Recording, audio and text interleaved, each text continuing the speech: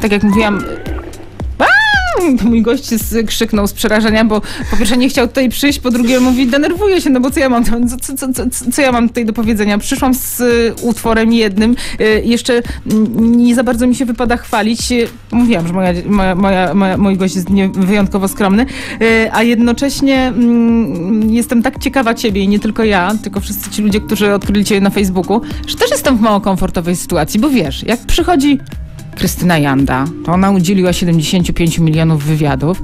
Ja zawsze tymi wywiadami mogę wesprzeć, przeczytać pytania, ewentualnie powtórzyć, wyjdzie, że nie, że nie ze mnie i że się nie przygotowuje do pracy, ale zawsze jakoś będzie. W przypadku ciebie biała karta. Oprócz tego, że oprócz tego, co można przeczytać w internecie. Marianna Linde, dzień dobry. Dzień dobry. Czy możesz odetchnąć teraz głęboko? Nie, no nie jest tak źle. Super. Już nie ma takiego stresu wielkiego, więc jest okej. Okay.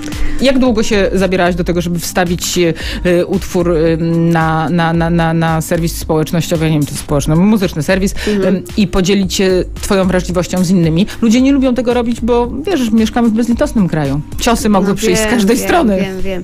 No, strasznie się denerwowałam i, no i zastanawiałam się nad tym długo, ale z drugiej strony pierwsze rzeczy, które e, wstawiłam na YouTube'a, to były po prostu z gitarą jakieś tam, jakieś covery moje. Mhm. I, no i nie stresowałam się tym, bo i tak nie wiedziałam, że nikt w życiu na to nie zwróci uwagi. No, ale jak zrobiłam tę nową piosenkę, to jest, ona jest demówką oczywiście, to po prostu moja przyjaciółka, która zresztą ze mną przyszła, yy, mnie namówiła, żebym koniecznie wstawiła, że to jest super, a ja nie byłam pewna. Myślałam, że to nie, że to w ogóle nie nadaje się, żeby pokazywać, to jest tak surowe, że... No ale, ale wstawiłam i, i byłam w szoku, że tak, no, że udało się coś takiego osiągnąć jedną piosenką, no, że, no ale no to, jak, to był szok. Jak, jak, wygląda teraz rzeczywistość? Ona się jakoś diametralnie zmieniła? Nie, no absolutnie, w ogóle się nie zmieniła, w ogóle. Tylko przez pierwsze kilka dni było tak, że, że te portale pisały e, o tym, że córka Katarzyny Groniec oczywiście, e, że wstawiłam coś swojego i nawet był jeden artykuł się ukazał, w którym pokazały się moje zdjęcia z kotami, że, jest, że uwielbiam koty i, i że kocham Nika Cave'a, no, co jest prawdą oczywiście. Mhm. E, ale, ale to było śmieszne, że kogoś może interesować, że ja uwielbiam koty, albo no dlatego postanowiłam wszystkie zdjęcia na Facebooku e, zablokować, żeby nikt nie mógł zobaczyć.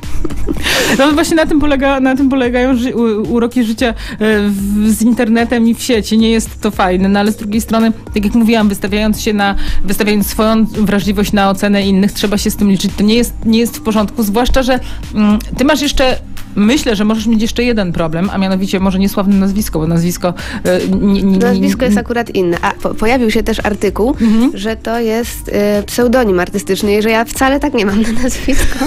Marianna, Marianna Linde, niech się to zakoduje w głowie. Za chwilę jeszcze o konotacjach rodzinnych przez moment porozmawiamy, a potem już o muzycznych inspiracjach i o tym, co mój gość będzie miał e, w planie na przyszłość. A plany, jak wiadomo, w przypadku takiego potencjału są wielkie. No i oczywiście, jeżeli... A, jest jeszcze jedna ważna informacja jeżeli są muzycy, którzy mają otwartą rokową duszę e, i e, pazur oraz sprostają wymaganiom mojego dzisiejszego gościa, to, to odzywajcie się. Marianna może wam dać szansę, ponieważ, tak jak przyznała, jest na etapie komplet kompletowania zespołu, a w przypadku takiej muzyki, jaką robisz, no ten zespół musi grać. No musi być i to jest, i to jest straszny minus, że nie mam tego zespołu, bo um, no, mam, mam wśród przyjaciół ludzi, którzy grają, są muzykami ale oni właśnie zaczynają w taki sposób, że mają zespół i po prostu grają latami z tym zespołem i, i to jest świetne. No a ja nie mam ludzi, z którymi mogłabym grać. Wszystko robię sama. Szybko podeszłam do, do półki z płytami i po prostu pokazałam palcem pierwszą płytę i to było Queens of the Stone Age. Ja jeszcze wtedy nie znałam tego zespołu i napisałam mu, słucham Queens of the Stone Age. On napisał, to mój ulubiony zespół!